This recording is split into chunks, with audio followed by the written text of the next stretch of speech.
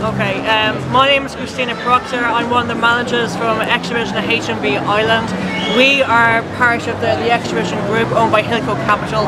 Hil- Hilco Capital shut down half of the company, i.e. Xtravision, even though we're a dual branded company, yet left, left HMV open.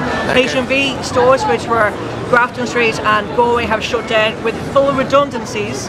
We have been left with our wages withheld and our redundancies non-paying out. Okay. Uh, what's the avenues for you guys now? Do you uh, can you go to a tribunal? Do you have to go to a labour court or?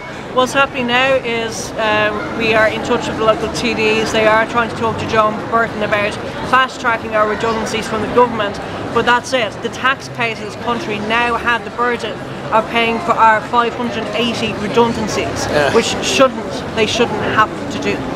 Does an election coming up would this affect the way you might vote? Absolutely. Yeah. Absolutely, it will. Yeah, yeah. There's a Labour Party convention taking place at this very moment. What would you like to say to them? I'd like to say, do something about this. Make sure Hilco Capital pay for what they had promised us. I was doing my redundancy on Wednesday. I didn't get it. Yeah. I want my redundancy. Uh, would you like to remind them that the Labour Party was set up to defend labour and workers' rights? I certainly would. I certainly bloody well would. Christine, we wish you all the best. Uh, it's an injustice that shouldn't be happening. So, Thank you. thank you. While money doesn't talk, it swears. Obscenity, who really cares? Propaganda, all is phony.